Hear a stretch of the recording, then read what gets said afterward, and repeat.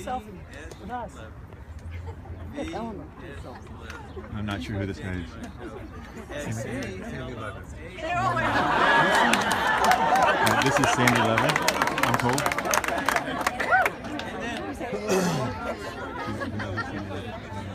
You're using this. We're inside.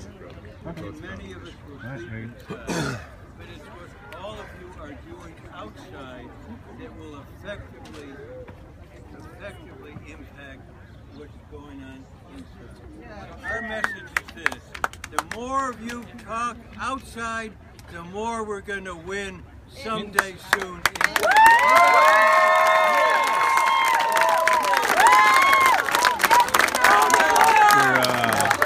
South on the house side. Oh, Eleanor Holmes Norton. Yes. Eleanor Holmes Norton is in the house. No bill. No break. No bill. No bill. Yes.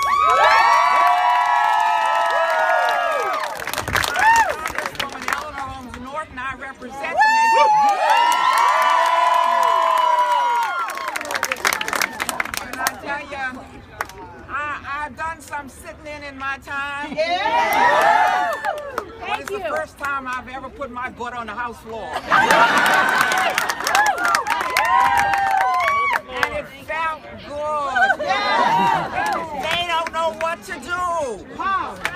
They dare not. One second. Let me fix. I'll Ask wait till Eleanor's done. police to arrest One second. us. That's what they used to do when I was in the sit-in movement. Uh-huh. No cop here is going to put his hands on any member of Congress. Our message to them today: We aren't going anywhere. We have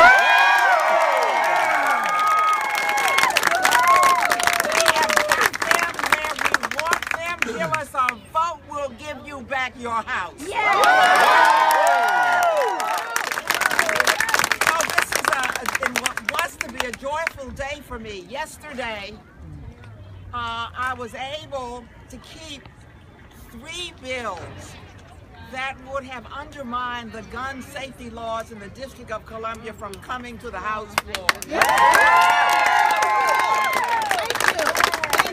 Then I got here, and better, better than getting those bills was what we were doing on the House floor today.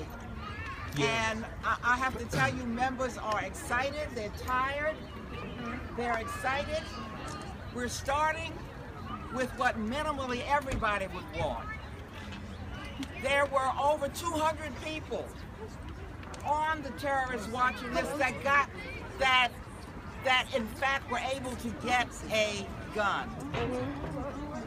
Uh, we're trying to start start with those people. This lady says she's from Orlando. She knows why we want. We want, we want background checks. If you live in the nation's capital where we have strong laws, you can't buy a gun. You go to Virginia, and that's where all our guns That's come right. from. All you got to do is go to a gun show and say, "Give me a gun." You don't have to show anything else. We finally, we finally have you out here, which is more important than having us in there.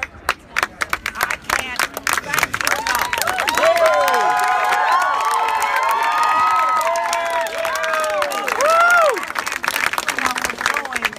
that inside where I'm going now, we on the House floor are not by ourselves. Thank you, America. It's our mate. Thank you. Nancy.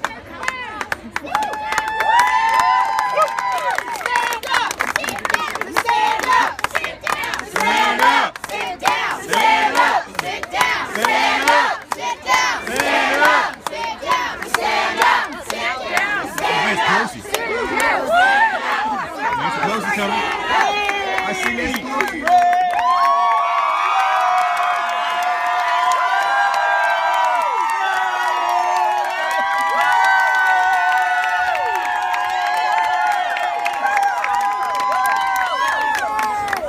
showing up here, but for being there all the time uh, to protect the American people.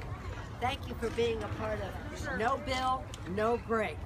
No Bill, No, Break. No Bill, No Break. No Bill, No Break. No Bill, No Break. Disarm hate sign. Disarm hate. Doesn't that say it all? Yep. It does. Doesn't say it Yes, all? yes, yes. I think we have a special moment.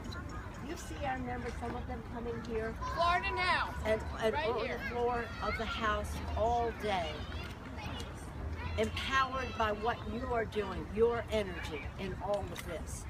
You are so important. Nothing is more eloquent to a member of Congress than the voice of his or her own constituents.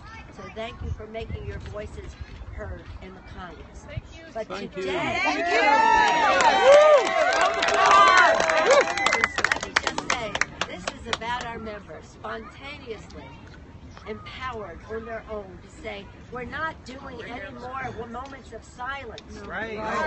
Tired of silence. To be silent. Keep fighting, this Nancy. We don't want any more si- moments of silence. Of course, we we pray for those who we've lost. Our thoughts and prayers are with them. But to really honor them, we have to act upon those nice. It's just not enough. It's not enough.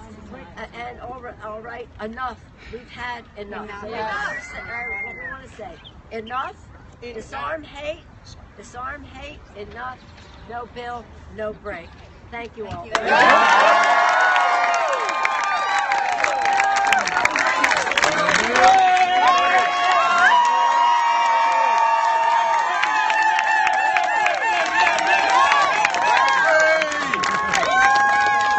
Thank you, Madam Leader. Thank you to all of you for being out here and having our backs. We have spent the entire day on the floor, literally, of the House of Representatives, standing strong, making sure that Americans understand that we stand with the overwhelming majority of Americans that believe that we should pass legislation to make sure that people who shouldn't have guns can't get them. The people who are on the terrorist watch list or who are under suspicion of terrorism should not be able to get access to a gun. Today in the Appropriations Committee, before we went to the floor, the Republicans defeated overwhelmingly an amendment that would have done exactly what I just said. Made sure that if you were under reasonable suspicion of terrorism, that you would not be able to purchase a gun. And they, uh, over and over and over again, spoke against that. They are so beholden to the NRA. They worship at the altar of the National Rifle, Rifle Association and gun manufacturers. And they should be ashamed. and we made that. We called shame on them today, and we will continue. I had the deepest privilege, and just hung up with my very dear friend Gabby Giffords. And I had the privilege of reading her letter to our colleagues on the floor this afternoon to talk about how important it is that we make sure that we amplify the voices of the families whose children have been lost, of those 26 six year olds from Newtown, the 49 souls that were just lost in my home state not 10 days ago. Gabby wanted to make sure that her voice was heard, and I had the privilege of reading her letter on the floor, and she and I told her that I was walking down the Capitol steps to talk to over a hundred people who spontaneously came to support us and to support her right on this right on this grounds of the Capitol. So thank you so much. If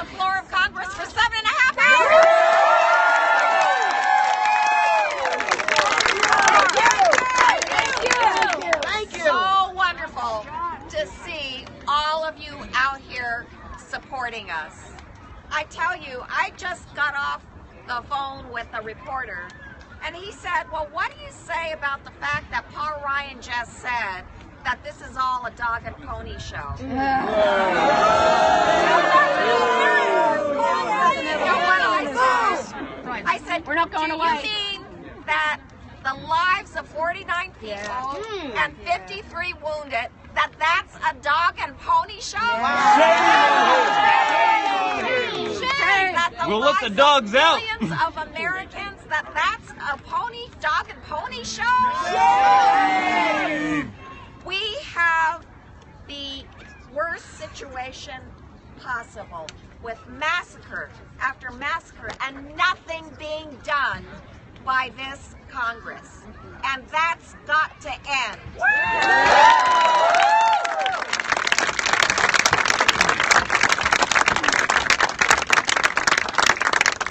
In fact, it was just in December where the district neighboring to mine had two gun persons go in in San Bernardino. Mm-hmm. They were just having their county party, their holiday party, when they were gunned down, and 14 deaths were the result.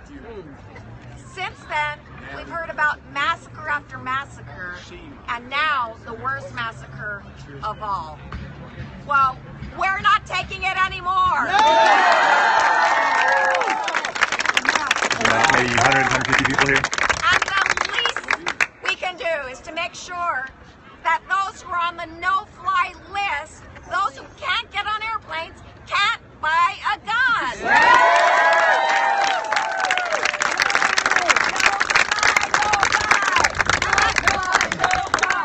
No fly, no buy. No fly, no buy. No fly, no buy. No fly, no buy. No fly, no buy.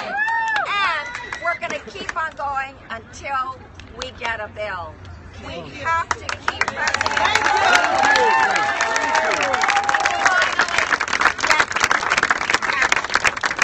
So, thank you for being out here. Thank you for for backing us up. We're going to do what we can. Thank you all.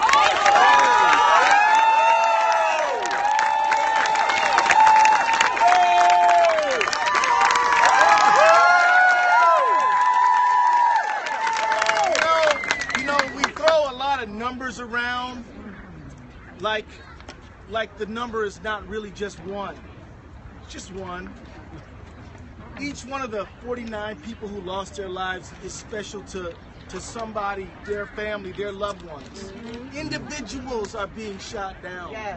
And the numbers, the big numbers can blur you. You know, 14 in, in San Bernardino, 9 in, Char- in, uh, in Charleston, 49 here, 27 in Sandy Hook. You know, when I, this issue, when it hits me, I think of a, of a 59 year old woman in Minneapolis, my town, who was driving down the street and she and some guys were shooting and she got shot in the head and killed. This this is what I think of. I mean, every day across our country, we have these mass shootings, but we also have these one at a time killings. Absolutely, You know, yes. like, like Yes. in Chicago, One more weekend, 62 individuals Yes. were shot down. Enough. It wasn't just one shooter, there was maybe 62 shooters. But to every one of those people who was lost, they were somebody incredibly precious Absolutely. to somebody else. Yes. And, and you know, the, the hole never gets filled. Never. You know, they, they have the funeral and and then, you know, you go home to the bedroom that they used to occupy, mm-hmm. to the table they used to sit at, and it, and it never really heals. And the fact that we cannot get a vote to try to stop that from Shameful. happening. All we're asking is a simple vote. If you feel that you are a gun fundamentalist and you think having a gun and being able to shoot that gun and, and, and is more important than anything else, then you say you vote like that on the Yes. House. You stand on it and you be and you be the elected official that you were sent here to be. But don't hide behind no vote whatsoever. Don't hide behind no vote.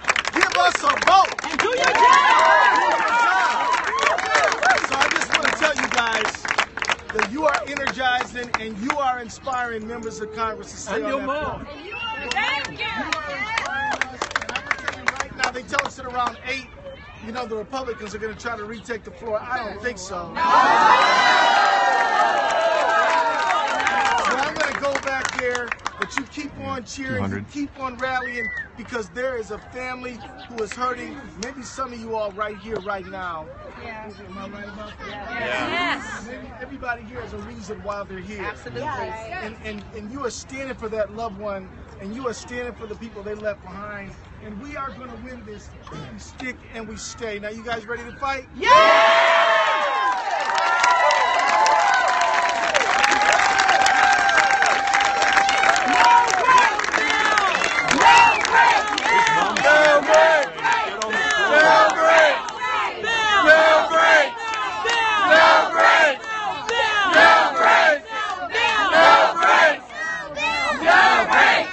I'm no lady, I'm no uh, congressman, but I, I am the president of Florida now.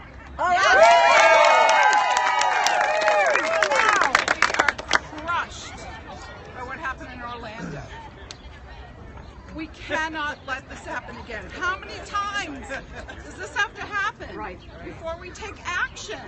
Right. We are proud, very proud of the Democratic group standing up for all of us. Gun control, we've got to take control of this. We've got to get rid of this problem. Thank you all for being here.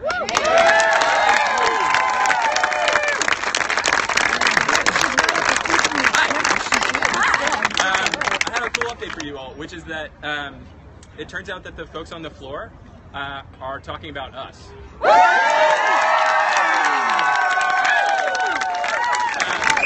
and not only are they talking about us, but they're, they're actually, you know, they're sort of talking about us in a representative democracy way. Like this is a this is a movement. The people out there are, are here for us. It's giving them strength. So it's awesome. Thank you so much for being here. Um,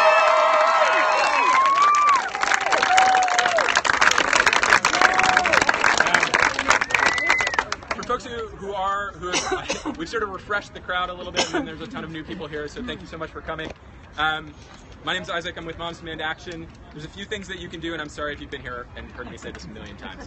Um, a couple things that you can do so that we can get more people here. Number one tell your network tell everybody you know to come down here because we're going to be there until they vote. So you know we've got food we've got water we've got more food coming you know we'll have speakers throughout the night. The representatives are going to keep coming and talking to us. We'll sing songs i guess Can you sleep here or is that illegal? we can be on this side of the thank you. We can be on this side of the fence. If you're on that side of the fence the police may come and talk to us at some point but What fence are you talking about? this this fence, this concrete abutment. Yeah. Fortunately, as members keep coming out, that is saving us. But uh, we may need to may need to get on this side. Take down that wall. Um, okay, a couple, of, couple other things real quickly about social media. So, to, so this is very old school, which is awesome. Um, but we need to keep using social media to keep r- bringing more people in. So on Twitter, we want to keep using the hashtag uh, No Bill No Break. There's a reason people keep saying that. Um, and at Mom's Demand, that's super helpful. Uh, and then folks can text demand action to 64433. So you can text demand action to 64433. What does that accomplish? That will do one of two things. Uh, well, you can tell your friends to do it, uh, and that will give them the directions to come here. Uh, and also, if you're outside of DC, uh, it'll help drive phone calls uh, into uh, the representative's office. So, folks may not have heard this. I told folks earlier, in three hours, we drove 55,000 phone calls into the House. And that's been happening since Orlando. So that was just the last three hours since this started happening. Folks may recall there was an Orlando shooting. You may recall two weeks ago, which was horrific. There have been hundreds of thousands of phone calls since then. Representative's office literally they can't answer the phone fast enough. This is the biggest issue on the House or the Senate floor right now. And they don't care. And they still haven't done anything about it, so we're still here and we're gonna make them do something. So. 50 votes on affordable care and not one If vote on missed- guns. If you missed it, again, it's text demand action to 64433. Again, demand action to 64433. Got that? Feels good? All right. Cool. Um, One of the other things that's been really cool is that we've had some kids up here leading chants for the entire day. That's right. Not the NRA! Listen to the people! Not the NRA! Listen to the people! Not the NRA! Listen to the people! Not the NRA! Listen to the people! Not the NRA!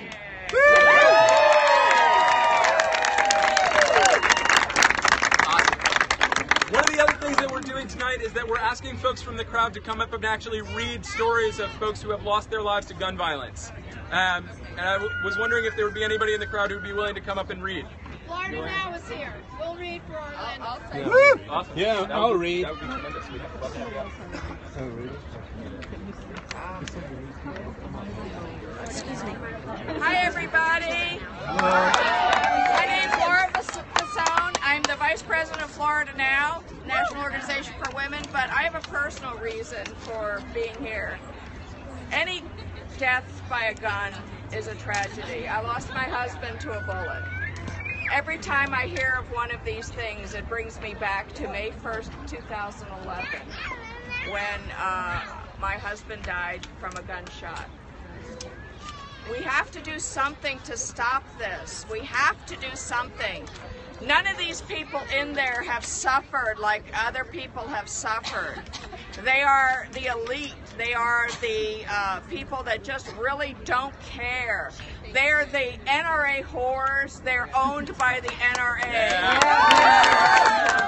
This needs to stop, and this needs to stop now. I support every one of these Democratic uh, Congress people that sat down this morning on uh, today on the on the House floor. I think they are the most wonderful heroes we could possibly have.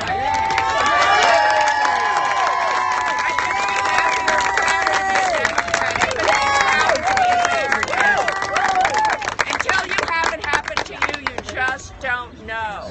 You just don't know. And I do. It should not happen to another person. I hope it never does. No more. Disarm. Thank you.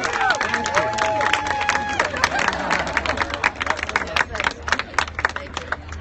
Um, yeah, so if folks are willing to come up and read, we would, that would be awesome. Thank you so much. Step up, and then, yeah, here. So each one of these. So are you having audience members read something now? What's that?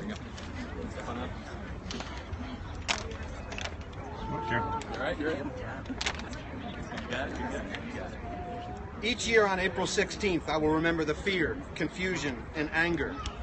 I'll smile remembering the support of friends, family, the entire country. The emotional highs and lows will feel fresh, just as in 2007 when I was a senior at Virginia Tech. I'll breathe a sigh of relief at the end of the day and thank God for the many blessings in my life. But today felt different from years past, and I struggled to figure out why. Perhaps it was yesterday's bombings at the Boston Marathon that claimed three lives, including an eight year old boy and injured over 150 others. Perhaps it was the news that the first real compromise addressing our ineffective approach to gun policy may not have enough support to pass in the Senate. Perhaps it's the division and partisanship that grips Washington in total deadlock and has crowded out the voice of anyone who isn't strictly left or right. Then it dawned on me. What made April 16th so memorable was not the loss of life, but the strength, courage, and determination of the Virginia Tech community.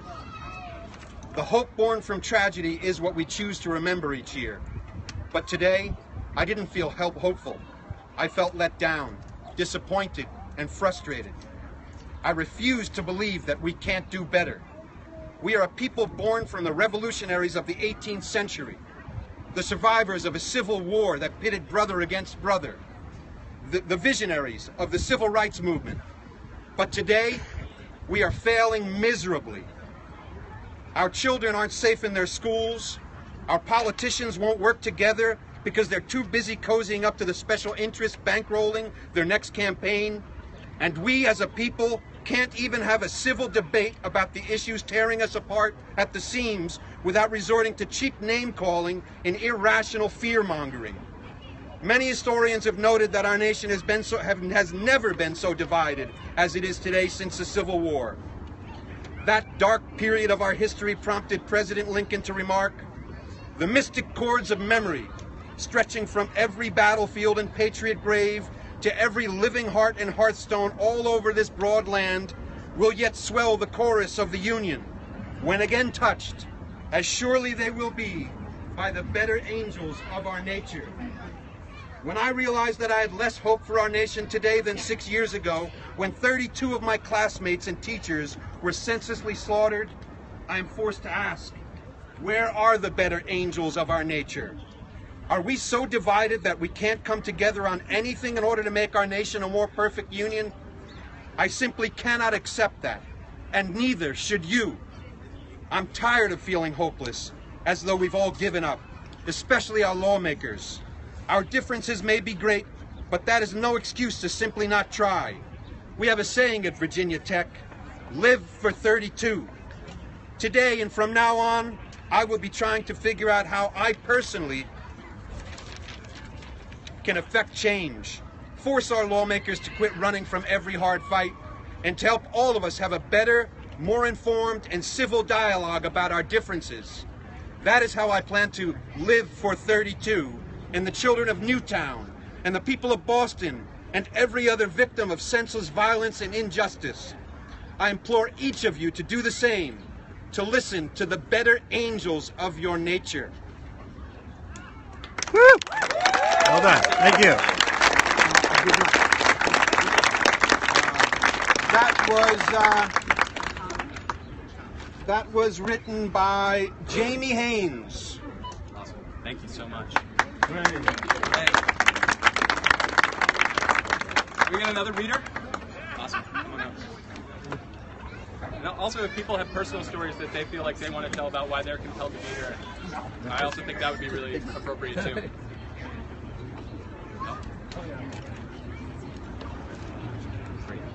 It's a little harder to think about, right? Uh, okay. So starting.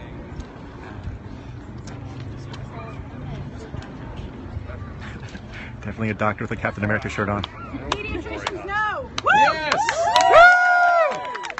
Thanks, guys. My name is Sanjeev Sriram. I'm a pediatrician here in Washington, D.C. I'm a member of Doctors for America, and we're with you guys. And one of the big things that we're asking Congress to fight for is to end the ban on CDC gun research. Yeah! when, when we have 90 of our fellow Americans dying every day of gun violence, uh, I mean, you know, doctors need to know what is it that we can do to help our patients because, you know, there are so many guns in so many homes, so many people with so many different kinds of risk factors, whether it's, you know, mental illness, where it's like, you know, you're, I mean, like depression, or whether you have a curious child at home, or whether you're a woman in an abusive relationship you know, doctors want to know whether there's things that are going on at home, like guns, that are going to undermine that that life, that safety. So, the CDC gun research, you know, will help us with that additional knowledge, and we encourage you guys to add that into our, you know, into our our efforts for gun safety.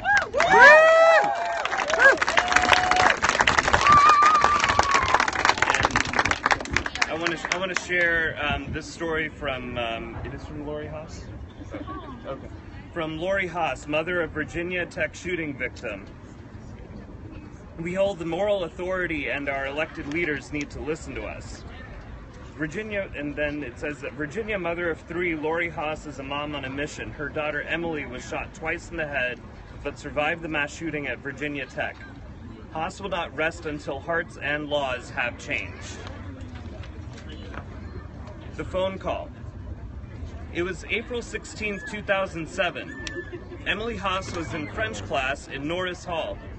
A gunman had chained the doors of the building and had begun killing students and professors. Gunman Xuan Hui Cho burst into Emily's class armed with two semi-automatic weapons. When police arrived in her classroom, they found Cho dead on the floor along with 11 innocent people he had killed. They began to rescue the wounded, including Emily. When Emily was taken to a triage center, she called her mom. I was out shopping with my minister, Haas recalled.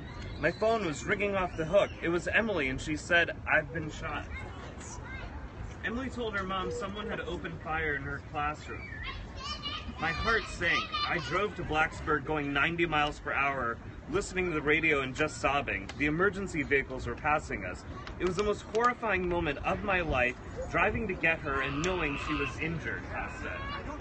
In Haas's panic, she knew she was lucky to still hear her daughter's voice.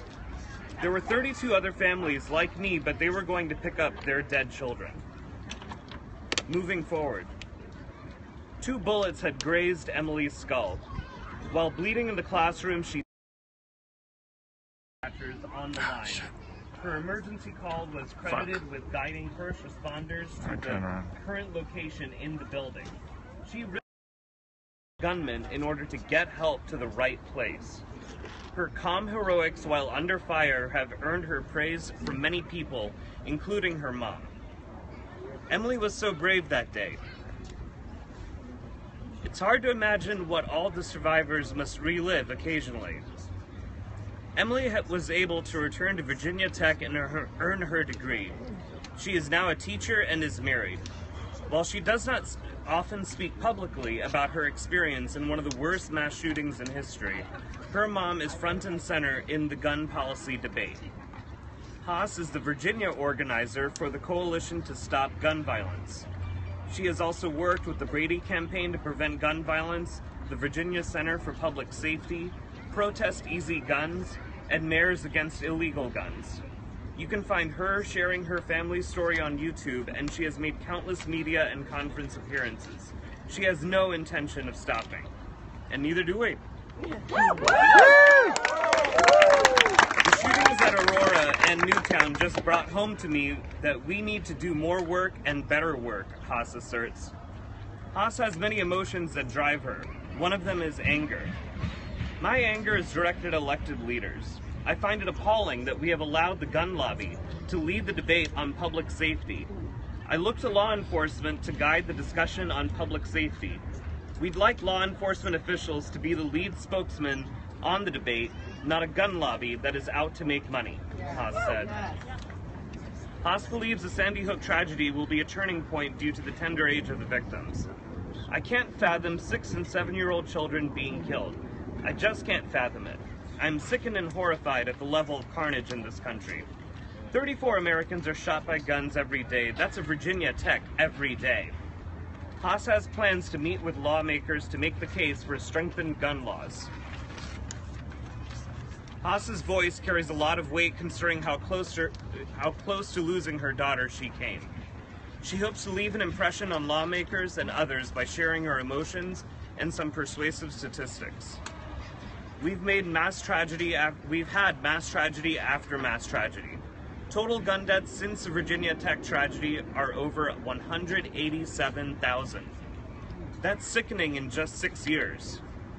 But I think there is a segment of the population that is listening. Three out of four NRA members wants background checks for all gun sales. 82% of gun owners want better and more responsible gun laws. We hold the moral authority, and our elected leaders need to listen to us. The story came from Nicole Cunningham. Thank you.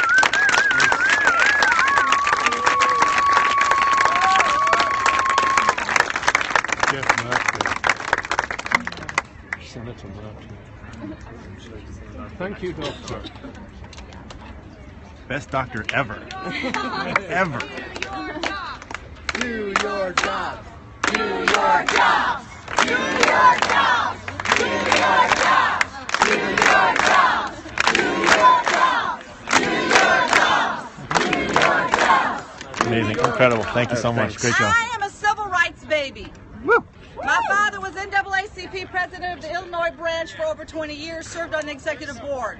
My father marched with, with Martin Luther King. I remember as a child going to marches, sitting in the back seat of the car with our coloring books and crayons and potato chips.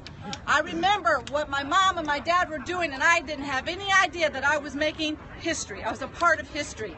It is my honor at this time to introduce to you Mr. Hilary Shelton, who is the Executive Director of the Washington Bureau of the NAACP.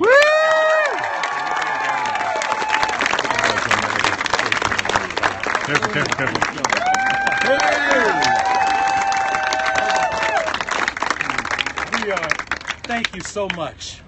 I cannot begin to tell you how honored I am to be here among you. Those who have had the courage to stand up against those who would spend lots of money to make lots of money while taking human life. We know how this program works. We know why it is there's no good common sense in the approach that we're seeing around guns. We know that when we have problems in our society, then indeed we want to solve those problems, but you don't also let those who don't know have access to something that can take life the way guns do. We know that as those who live here, many of us have driver's license. We know that the, one of the number one causes that used to be the number one cause of death in our country was simply auto accidents. The utility versus the, the, the futility argument. Hmm. The utility of being able to get people around, do a job, deliver things, and so forth, and the futility, oftentimes resulting in car accidents and people being injured and people dying. You cannot say that about guns in America. When we think about guns and the need to simply have some control over them, some good common sense way of actually challenging those who want to get them and put other people to death, we know there's a big mistake. There's a mistake when we look at what happened last year. Last Thanksgiving, I went to visit my parents in Missouri. I grew up in St. Louis, you know. And as I went to see my parents there, we sat and had great turkey dinner on Thursday, and then watched what happened on Black Friday. Black Friday was the day that everybody went shopping to get those Christmas presents and plan for the holiday season. It was an awful shame that on Black Friday, 185,000 Americans got their permits to get their Christmas presents, guns for somebody else in America. It's a shame that as we see what happens, whether it's children dying in Connecticut, or moviegoers dying in Colorado, or whether it's even people being shot on the streets of Chicago, that for some reason, as to looking at these incidents, whether it's a mass murder that happens on one day or the mass murder that happens in 60 days. Indeed, we know that thousands upon thousands of American men, women, and our children find themselves literally at the barrel of a gun and the person with their finger on the trigger not being clear whether they should pull that trigger or not, and too often they do. So let me just say that I look at the numbers, and we should always start with the numbers. I'm kind of a, a political geek. Me, somebody can hold on. you know what? If I step down one, will you all be okay? Oh, yeah. All right, let me go down right here. We still good? Yeah, yeah. Yeah. I'm a numbers geek. You know, kind of a, a political wonk, so to speak. We always believe that in order to manage a problem, you must first measure it. To manage a problem, you must first measure it. So when we look at the measurement of what's happening to the women, the children, and the men in America, we have a problem. But for some reason, we're going in the wrong direction. So I've been working around issues of addressing gun control since my hair was black. and I remember that when an incident like Colorado would happen, an incident like what happened with your son would occur, an, an incident like what happened just now in, in Orlando, Florida, when those incidents would happen, Americans would organize together. We would do gun turn-in days to get the, the guns off the streets and take them out of the hands of those that have no control over their own will. Indeed, we would move to make sure that we tried to make our community safer. That is not what's happening now. When incidents like these occur, people go out and buy more guns. I once had the experience of going to California. While I was there, because I'm from the East Coast, I wake up at 3 o'clock in the morning and start watching the news. And if there's anybody from California, you can give me an, an amen to this. Mm-hmm. For some reason, on the news, every time the story has a shot from a video camera and a helicopter. And in this particular case, there was a carjacked in one part of town that was that actually at gunpoint. took the lady out of the car, got in, started driving the police car on, and started chasing him across the city. We could see all this from a video camera in the helicopter. The guy lost control of the car and ran into a tree. The guy, they did. The police came, pulled him out of the car, took him to the hospital, and then into the police station for interrogation. The very next day, I ended up speaking to the chief of police, a brand new chief of police at that time. And I said, Sir, look, I woke up and I saw this car chase. I said, What became of the carjacker? He said, Well, it's funny you'd ask that question. We asked the carjacker, among other questions, where did you get the gun that you used to steal the car that night? He said, I got it out of the car that I stole the night before. Hmm? In essence, what he learned is that carjackers are car thieves first. They steal them whether you're in it or whether you're not, and so people were stupid enough to start buying guns to keep in their glove compartments. And the same car thieves were stealing those cars and using those guns to do the horrific things that they were doing. So, brothers and sisters, we're glad you're here because clearly there's very little good common sense behind me. In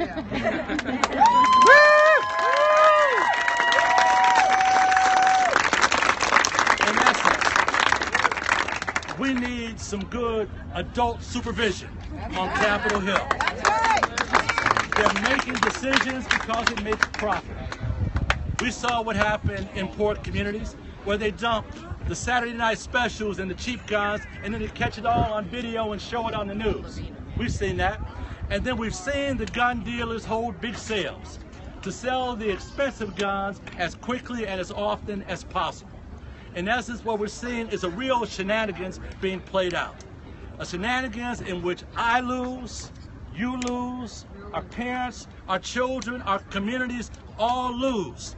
But the NRA, the gun manufacturers, the gun distributors, and the gun dealers make out like fat cats. Right, yeah, right. It's time for a change in America.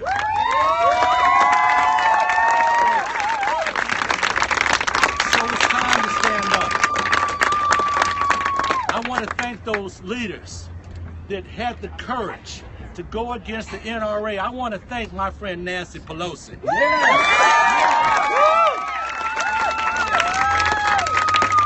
I want to thank my friend Jim Clyburn. I want to thank, thank the entire CBC, the CHC, the Asian Pacific Caucus, and you all just heard from my friend Keith Ellison from the, the, the Progressive Caucus. We want to thank them for having the power and utilizing their courage to move America in the direction that we must go. The next step must be civilization. Civilization where we're moving away from the high noon era of everyone going out on the streets and whoever can slap leather the fastest, stick the gun out the furthest, pull the trigger as often and see that lead fly will be the ones that win. But we all lose when we allow that to happen. So let's make that change. Yeah. Let's-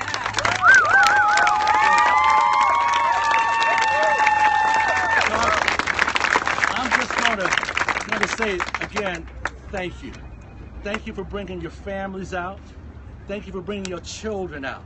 They need to see what this is all about. It's about our communities. It's about our parents as they move through their sunset years in life, being able to be comfortable and not threatened. It's about my children. I have three sons.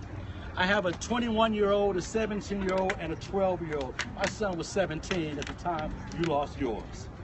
We've sat and we've seen what happens when the wrong people get guns into their hands, and we have to make it stop.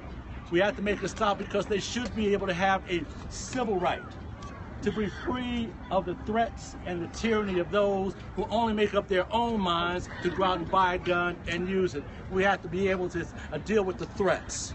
The threats of those that know that if they're able to continue to exploit those who are dying because of gun violence, they can make even more money and profit off of it. We've got to make sure we take on those who would actually end up banking as we've seen.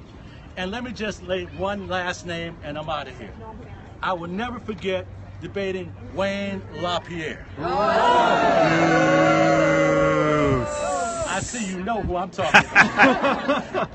and we saw what happened when he was asked about Sandy Hook, didn't we? The NRA waited over a month before it said a word. And then when it came out, it blamed everybody, didn't it? They said, we blame this on all those violent movies you watch. They said, we blame this on all those violent video games your children play. They said, we blame this on all that violent music that you're listening to. And let me just say this. As I sat there and listened everybody to blame, and then it came out and had the audacity to say that the only way to deal with a bad man with a gun is to have a good man with a gun. But I'll leave you with this. All the gun violence that takes place on our streets, every single gun that's picked up was bought legally by somebody. Whether they left it in their closet and the robber robbed the house and took it with them, or whether they lost their temper because the neighbor's dog left something on their lawn they didn't like. In essence, we recognize what's happening with those guns, and now it's time for it to stop. And it will only stop as we move towards this election. And I'll say this in my most nonpartisan way. I'm not going to tell you who to vote for or who to vote against. But I will say that you should turn out and vote in record numbers and vote for those who represent your values. Thank you very much.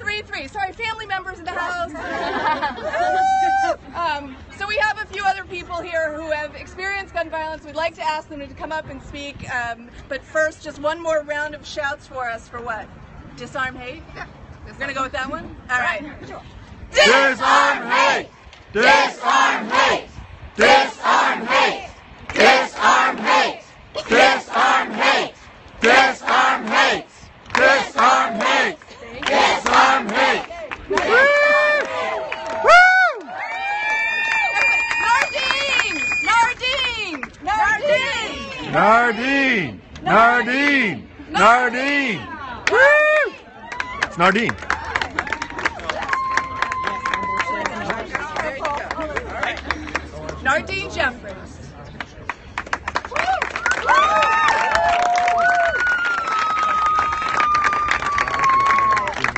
Thank you. All right, I just want to say, like Lucy said, we are not afraid of the NRA, but unfortunately, our Speaker of the House apparently is. So, what we need to do is ask Mr. Speaker of the House, Paul Ryan, if it's okay for him to go ask his boss, Wayne LaPierre, and the NRA if he and the rest of the Republicans who value green paper more than red blood, if they can vote for sensible gun laws to save all Americans. My daughter was killed here in D.C. This was what my daughter looked like before March 30th, 2010. This is what my daughter looked like after being shot in the head with an AK-47 in her head at close range. Mhm. Also in the shoulder. She was one of nine people shot here, seven miles from here.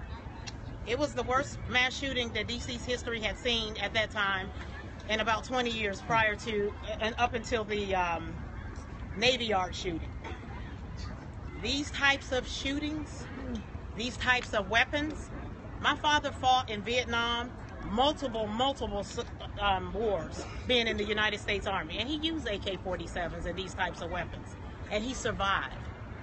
My father died before we went to trial because his heart couldn't take the fact that his only grandchild, my only child, was slaughtered with a military style weapon that was made for the military to protect our nation, not for us as civilians to be using it to supposedly using it to exercise our Second Amendment rights. This is not your Second Amendment right. This is an innocent 16 year old child. Just like the innocent lives that are gunned down every single day all over the United States of America. I thought I lived in the United States of America. I was not aware that I lived in a war zone. We're all sitting targets. We could be hit now because this is what they go for. They get the guns that spit out the uh, large amounts of bullets in a very short amount of time. When I sat in that trial and I looked at that gun and the bullets were this size, about the length of my finger, it just it hurt me all over again to know that this is what is on our streets. We can do better. We have to do better. And now we is the time. Yes. Later is way too late. So I am urging our greedy Republicans, and it is the greedy Republicans, because again, who's sitting on the floor? Not one Republican is in there. So that tells us what? They do not care about human American innocent citizens at all. They only care about the green paper, not the red blood. And if it takes us coming here, and I really suggest that all DC residents, Maryland residents, and Virginia residents, for the time being, come down here. Yes. Come down to the hill. It's time to shut DC down. This is where the laws are made. These are where the bills are passed. And they want to run home. Mr. Ryan wants to get home to his two little children. Guess what? I have no child at home. I won't have any more children. My future generations have been stolen from me. Because this was the only child that I had on her way to Japan to do an ambassador program and then to college at 16. No drugs, no gangs, no alcohol. We have to do better. We need to do better. And now is the time for us to do it. So everybody in the DMV, come down to the Capitol. If you're in New York, anywhere in the United States, please come and join us. Thank you.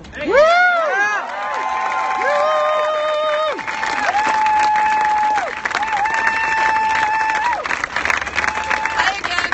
Person with Everytown. There are moms walking around in Moms Thank Demand you. Action t-shirts. We're signing up volunteers. If you want to get more involved, please take a moment to join in. I can't read without my glasses on and I look stupid. Um, so in the meantime, but more, more members are coming out to join us. So please welcome Jose Serrano from the Bronx. It's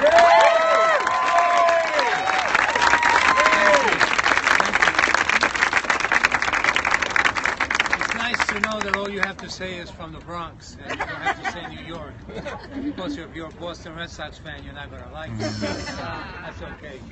I live down the street from Yankee Stadium. I represent what is known as the South Bronx. We wanted to come by and say thank you to you. You don't know how Thank you. much- Thank you. Thank you. Look, we did without planning what we had to do because when you have in your party, when you have in your neighborhood, when you have in your House of Representatives John Lewis, you don't need to be prompted.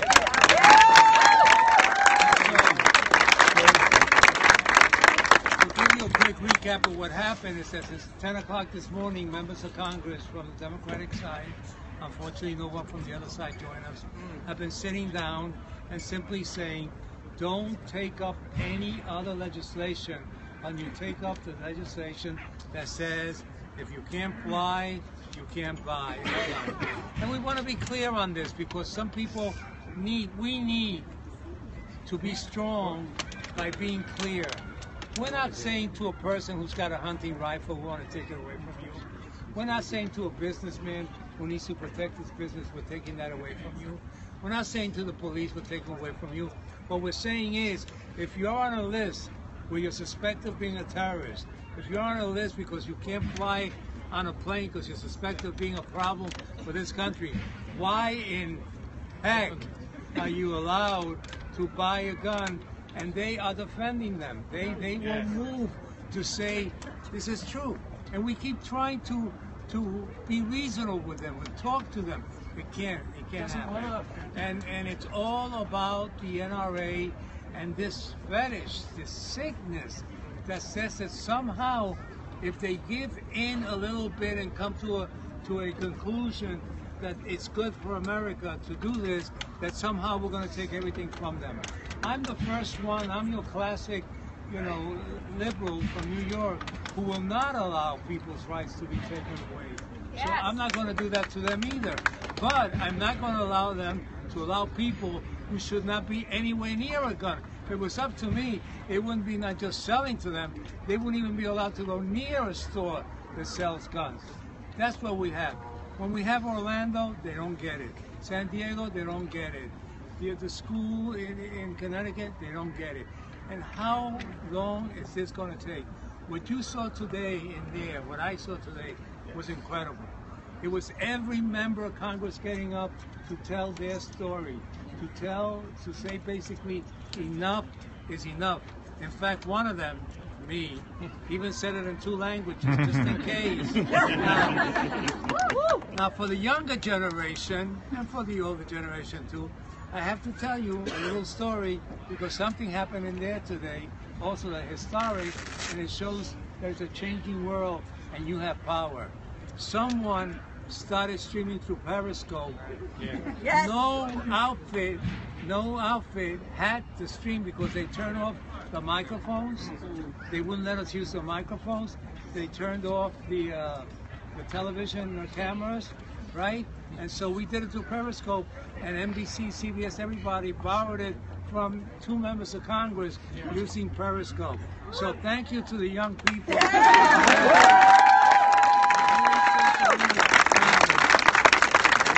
One, one, C-SPAN is live with Periscope. One, one last point. One last point. The founding parents, notice I didn't say fathers. The founding parents didn't have TV cameras, but everybody has seen what they did. They didn't have microphones, but the whole world has heard what they've done for all these years. I don't care that they cut our phone, our our microphones off and our TV cameras off.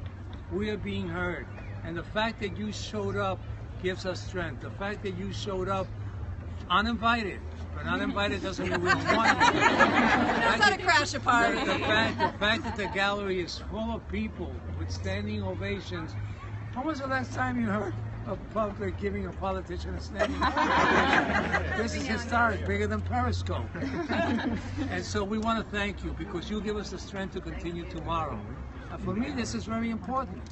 Try to understand this because sometimes I get confused about it.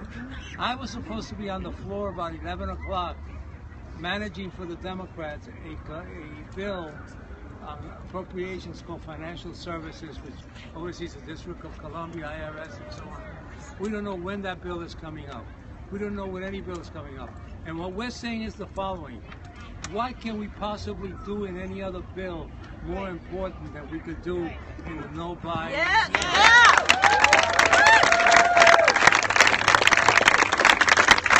Thank you so much. Thank you so much. And I leave you with this thought.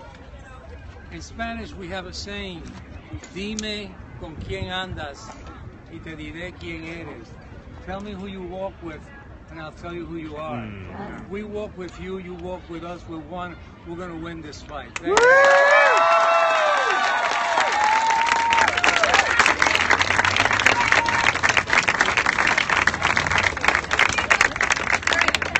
Text demand action 84377. We're talking about a couple of bills so far tonight, but we're here because of the 91 Americans who are killed with a gun every day in this country. 91 Americans. This has to stop. It has to change. I want to introduce you to a leader of this fight in the House, Senator Thompson, the leader of the Gun Violence Prevention Task Force.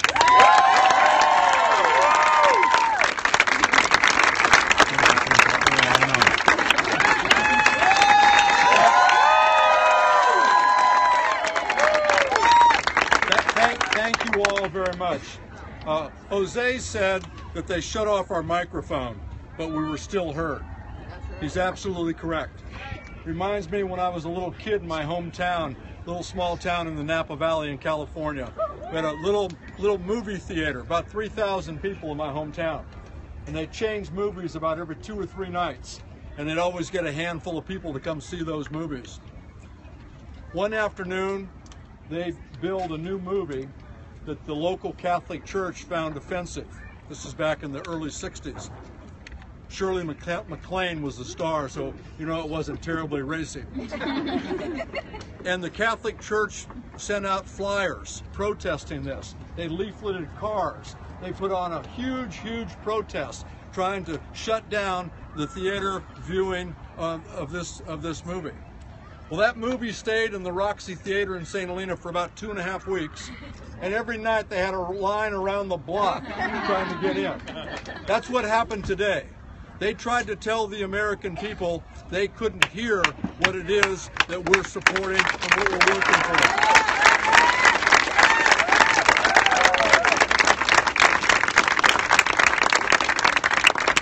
We're not asking for a lot. We're asking to stop the moments of silence. It's been three and a half years since I've been the chair of the Gun Violence Prevention Task Force. Happened right after the tragedy at Sandy Hook. Three and a half years. 1,158 mass shootings since Sandy Hook. 30 people a day murdered by someone using a gun. 30 moments of silence. And the most important number that you need to remember is the number of legislative uh, actions that we've taken on the floor in regard to gun violence. That number is zero. That number is unacceptable. Shame. And the reason that we assembled, we Democrats assembled on the floor tonight, was to say no more silence. We need to take action. We need to pass common sense, reasonable gun safety legislation to help protect the people of our great country. That's right. We're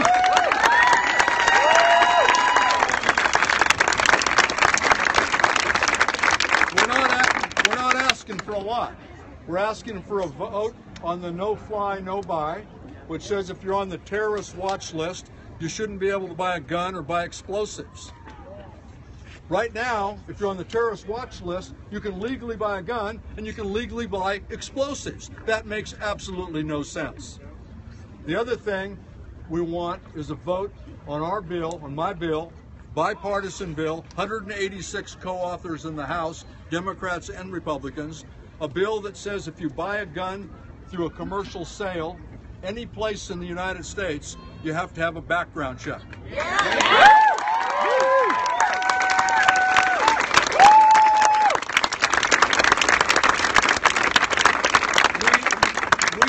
want to deny anyone their Second Amendment rights. We don't want to do away with guns. We don't want to stop people who should be able to legally buy guns from buying guns. But what we, we want to make sure is that criminals, the dangerously mentally ill, domestic abusers, or terrorists don't get their hands on guns. Now, you can't stop it all. You can't stop it all, but background checks is our first line of defense. That's why you elected us, to make sure we do everything we possibly can to help make sure our communities are safe, make sure that when you drop your kids off at school, you're reasonably sure that they're going to be safe. Make sure if you go into a church to pray, you're reasonably sure you're going to be safe. Make sure if you go to a nightclub at night or a movie theater at night, you're reasonably assured of your safety. This isn't anything earth shattering. This is common sense, and responsible gun owners are with us on this. 90%.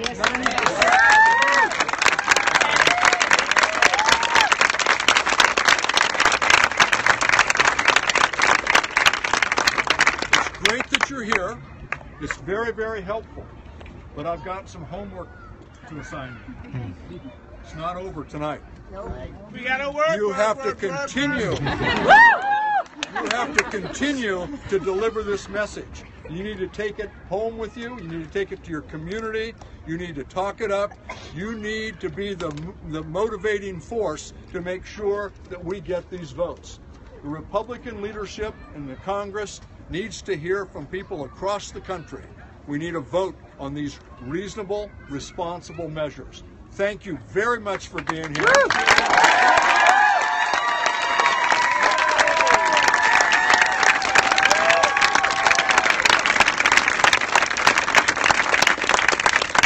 I'm going to take my leave, go back on the floor with my colleagues, and continue to maintain that floor.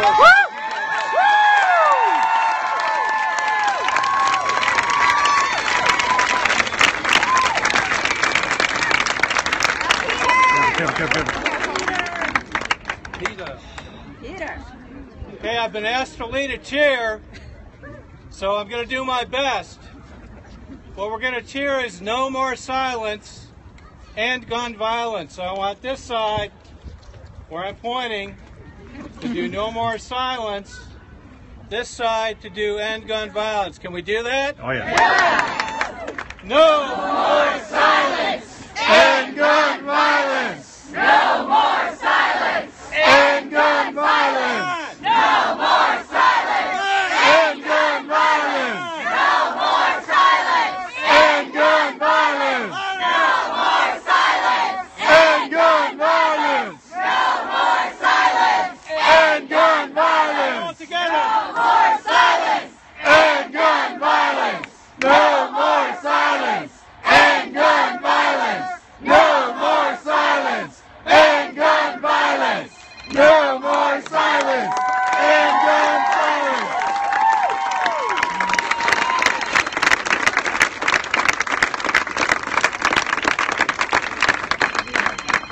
Mute your cell phones. My phone's ringing, but I'll get back to them. I'm here to talk to you. Absolutely, Congressman.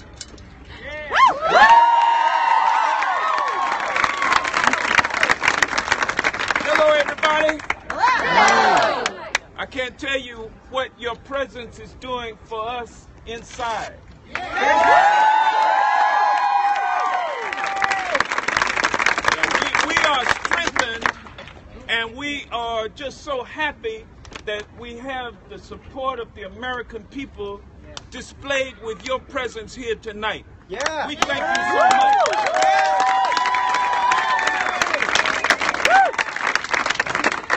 we really can't do what needs to be done by ourselves. We need you all. We need your pushing from the outside. We need your agitation. We need your civil disobedience. It's not easy to step out of your comfort zone. I mean, we all had a day planned for us this morning. We thought things would uh, proceed as normal.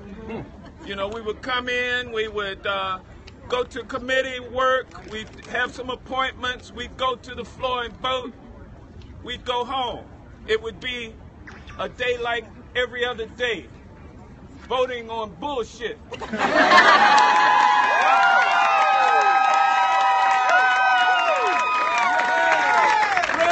That's some good trouble language right there. Agitate. Well, amen. But today something strange happened. Uh-huh. Some individuals decided that they were mad as hell and weren't going to take it anymore.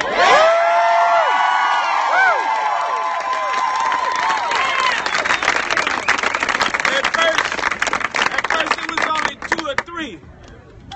Then it got to about 10. Uh-huh.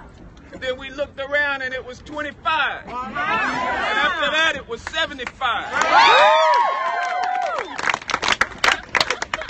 And I believe that just about every member of the Democratic caucus has joined us on the floor. And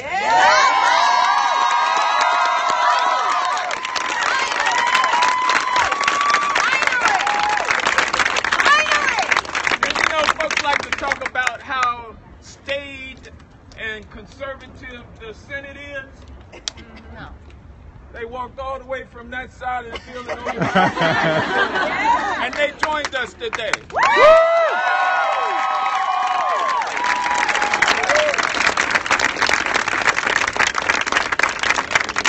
And I can't tell you how good it felt to finally be doing something, something that was important, something that needed to be done. Even though we're not voting, the message that we're sending is, hey, we ain't leaving until we get a vote.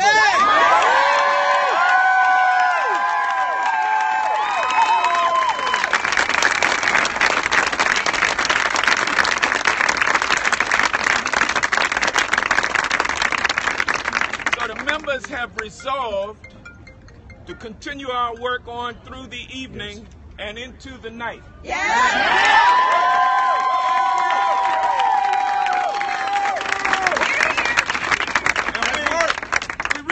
know what's going to happen because we keep hearing rumors that uh, the speaker is going to send in a goon squad to close the doors, shut the lights off. So far, that hasn't happened. And I really, in my heart, I, I don't think it will. That's right. No, that's right. Because you know the speaker is right up there. He doesn't have an apartment. He sleeps in his office. so he could use a little company tonight. so,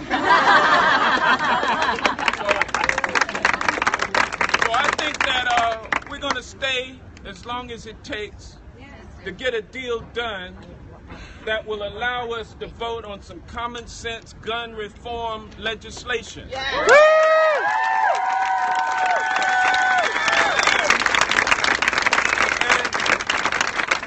and gentlemen, once the camel gets his nose or her nose into the tent, it ain't no stopping. so we just want to, we want to, we want to make this happen. This is a very significant moment, and you all, by your presence, are participating in it. I hope that you'll stay as long as we can stay. Thank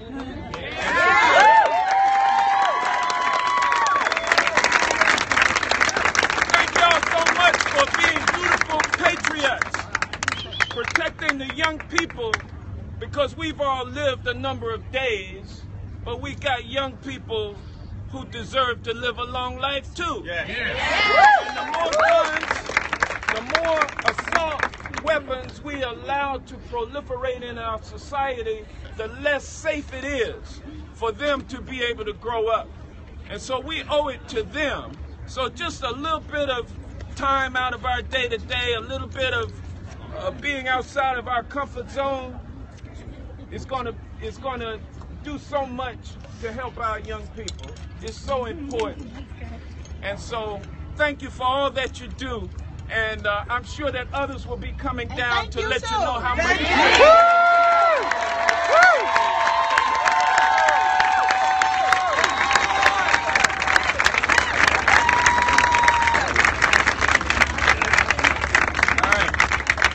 Hi, I'm Peter DeFazio here from Oregon, pretty far away from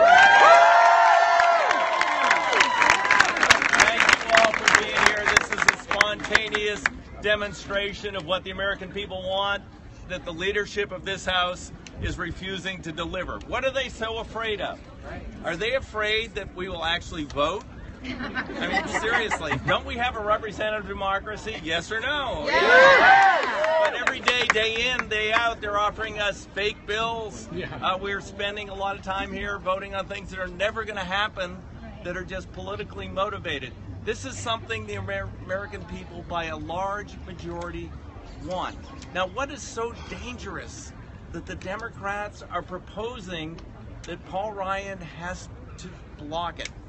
Uh, let's see. The first thing is universal background checks. That means no more loopholes where you can drive truckloads of guns around the federal laws and sell guns to people who are prohibited under current law from buying guns. Is that dangerous to America? No. No. That's in the laws of the United States of America and things that people of America want. And then number two, oh, wow, we're going to say that people who are on the watch list, who are under investigation for terrorism against the United States of America, should be allowed to go into any gun store they want and buy a gun.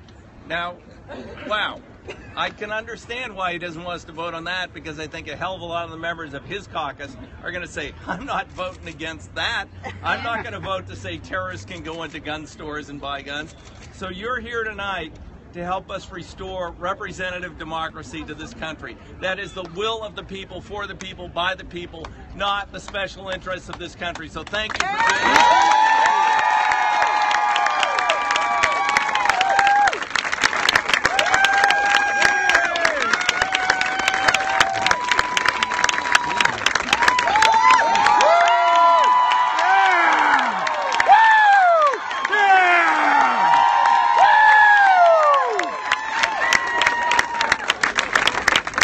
And it matches.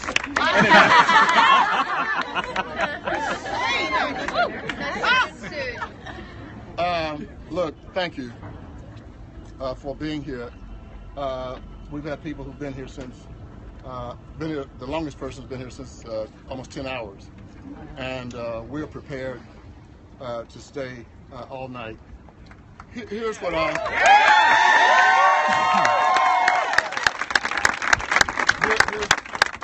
And I'll be brief because Congressman Kennedy and Congressman Clay uh, are, are right behind me, and and I, I just want to say thank you, and, and I want you to understand we're not asking for anything difficult. Uh, One of the problems we have in, in, in, in the country now is that American people are working and trying to make it all day, and so when somebody comes to them and says uh, this particular candidate or this particular party is trying to take your gun, they believe it. They just believe it. Or, as I heard one of the presidential candidates say two days ago, that uh, that his opponent was going to uh, change the Second Amendment. now, if you if you if you are a third grader, you know that there's no such thing as changing the Second Amendment. And I'm just saying, but I mean, you hear that? I- I'm serious.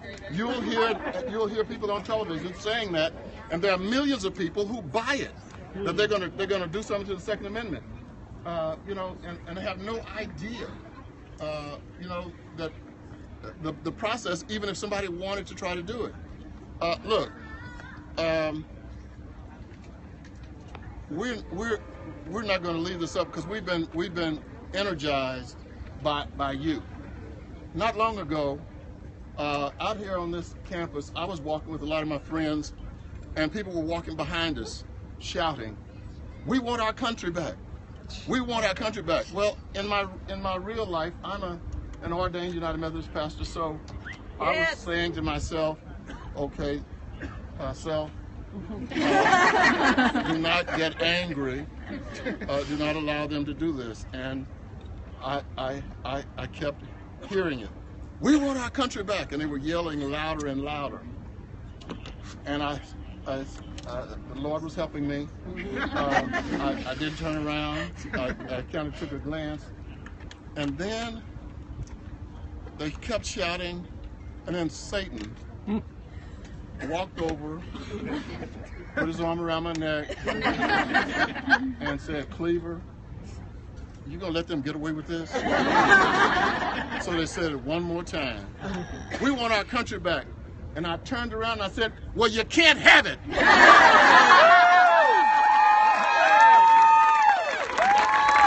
what I meant, we're not going back. We're not going back. We're not going back. We're not going back there. And the reason we're not going back is that was not a good time. We're not going back. And I'm telling them again, we're not going back.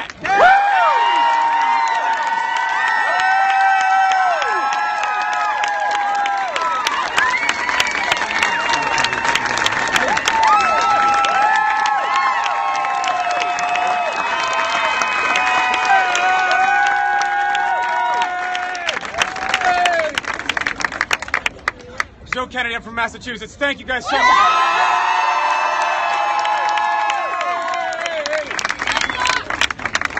I, I heard a Go Sox behind me. I haven't been in Congress that long. I have been in Congress long enough to know you never want to speak after Emanuel Cleaver. and I got that straw. Thank you, Mr. Chair. Um, I'm going to echo Mr. Cleaver's words tonight and just say thank you. Uh, Thank you. and I appreciate it. It's been a long day on the floor. It's been a long time listening to our colleagues recite statistic after statistic, story after story, heartbreak after heartbreak, all to try to get your voices, our voices, heard in a people's house.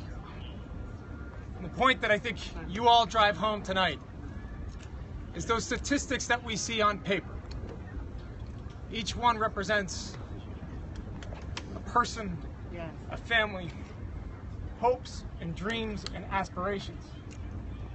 Or fathers and sons, mothers and daughters who didn't get to fill out that future. When, at its heart, I truly believe that politics is supposed to be about people. It's about channeling the collective energy and emotions of our people into policy that will guide our country. Tonight, you by being here show all of us in the chamber behind me what politics is supposed to be all about. Yes.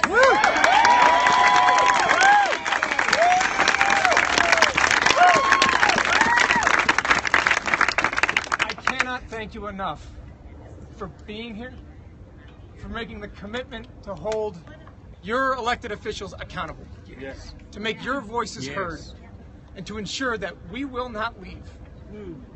until our house, the people's house, yes. gives you an explanation as to where we stand on these issues. Thank you for what you do.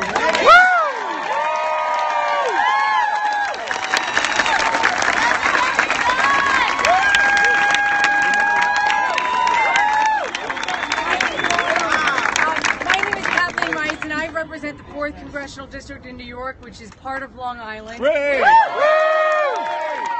New York. Uh, I have been here for 18 months, and I can tell you that this is the proudest day I have ever spent as a member of Congress. And I'm going to tell you I'm going to tell you why. I was asked earlier, about two hours ago, if what we were doing here wasn't just a bunch of political theater. And I said to the person who asked me that question, Do you know what political theater is? Political theater is going onto the floor as we do almost every day. And at some point when we are on the floor voting, we are called to do a moment of silence in memory of more people who have died in mass shootings somewhere in this country. That That's is political theater. beauty. Especially when you know that you're going to ask for that moment of silence and you're not going to bring a bill on the floor for a vote that can stop it once and for all. Yeah. Thank all of you so much. We are here. We're going to be here all night. We're going to be here however long it takes because you, the American people, are demanding it. And we are so grateful that you are here. This is a very proud day for us Democrats here in the House. And I spent 25 years as a prosecutor, and I've held way too many hands of mothers and fathers and loved ones who have lost family members by this epidemic. And that's what it is. And we're going to stop it here, and hopefully it's going to start tonight. Thank you all very much.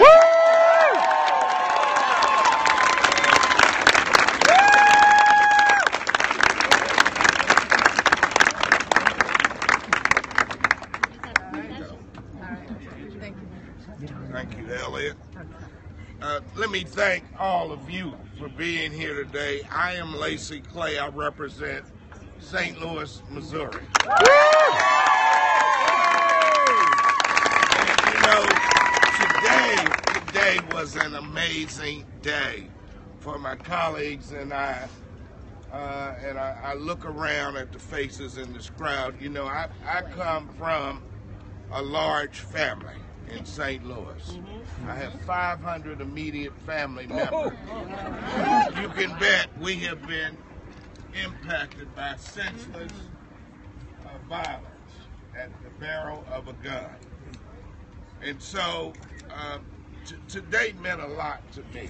I also represent Ferguson, Missouri, where we have experienced Yes. a lot of senseless gun violence.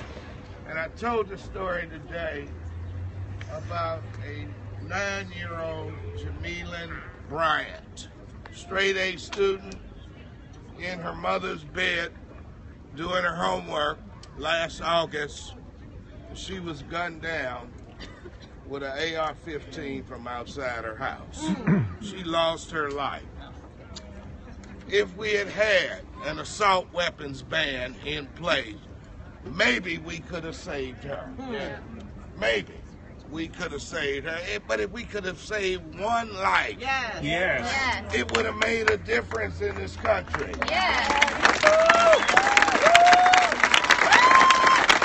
So let me, uh, let me thank each and every one of you for your support this evening, for being here, having our back. Um, the House leadership under Speaker Ryan and Leader McCarthy are tone deaf. Yes. yes. They don't hear us. But I think after today, they're going to get some of that hearing back. They are tone deaf to the needs of the American people, the wishes and desire to keep us safe. To keep us safe. Let me leave you with this. Um, you've got signs that say, disarm hate. I couldn't agree with you more. And as Dr. King told us, darkness cannot drive out darkness. Only the light can do that. Yes. Hate, hate cannot drive out hate. Only love can do that. Love you all.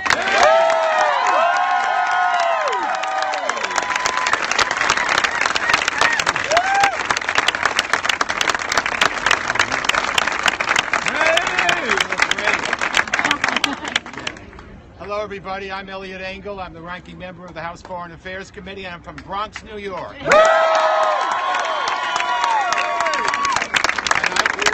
I, I want to tell you, it's so great looking out and seeing so many young people here.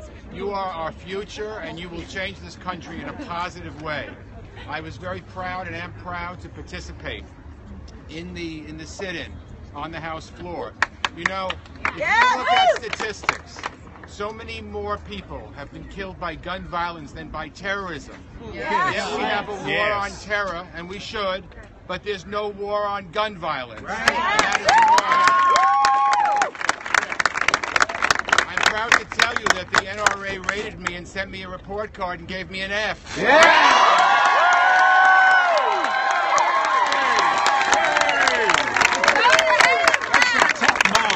That's Wear just it as a fantastic. badge of honor. Um, you know, when you all went to school and I went to school, we all learned how a bill becomes a law. You remember those charts? And you vote for it, and it comes up very nicely in committees. And if you get a majority, it's wonderful, and it goes to the floor. And if a majority agree, it's terrific. Throw it all away. That ain't the way the House works. The Republicans, as you know, are preventing us from having a vote. We're not saying that the vote should be our way. We're saying give representatives a chance to vote. We are elected.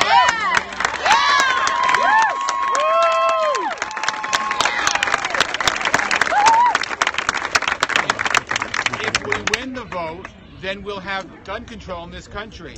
If we lose the vote, we won't. But they'll be on record as having prevented it.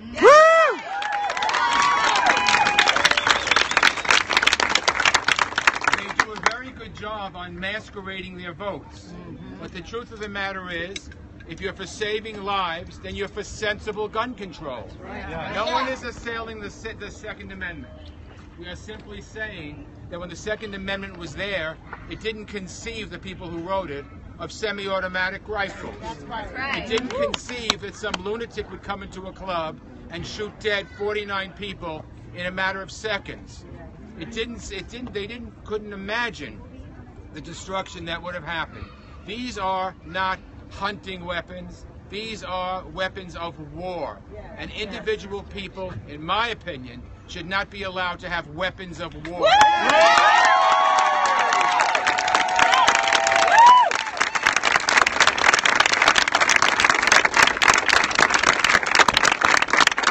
So I just want to thank you. I was coming back and I was uh, going upstairs and I heard the crowd it's really, really wonderful.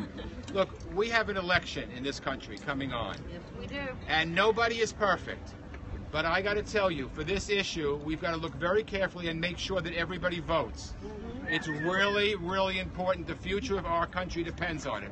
In my perch on the Foreign Affairs Committee, I deal with leaders from all over the world. And they cannot understand why America preaches to them. But when it comes to gun violence, we are unfortunately number one on the list in the world. That shouldn't happen.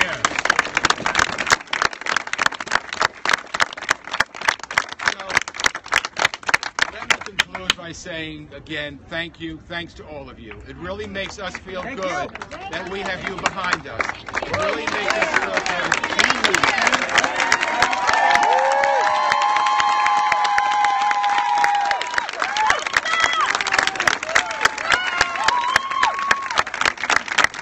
It really makes us feel good that you're the future of this country. Many years ago, when I was your age, we had protests like this against the Vietnam War.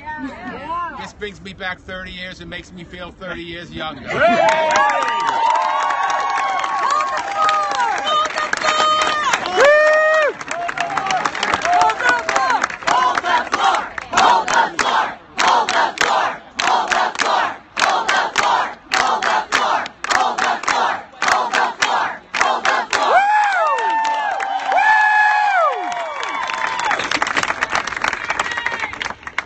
Sarbanes. I represent Maryland's third district.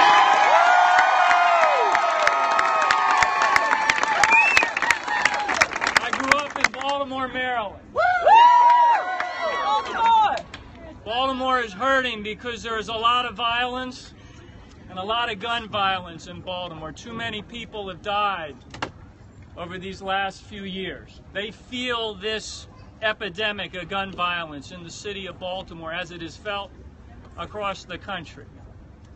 I want to report to you that Speaker Ryan, as you probably know by now, cut off the cameras and he cut off the cut off the microphone. Uh, I'm at I'm at one percent. Um, I'm at one percent. I gotta go. Uh, thank you everyone for coming out tonight. Um, I'll probably I gotta go to work tomorrow. I'll probably be back around four tomorrow. So um, uh, so I'll come back. I doubt there'll be a vote by then, right? So uh, I'll probably be here tomorrow and uh, doing this some more. So thanks everybody for coming out. Uh, or maybe there's another one periscoping here. There's a lot, maybe 200 people here. So have a good night. Peace.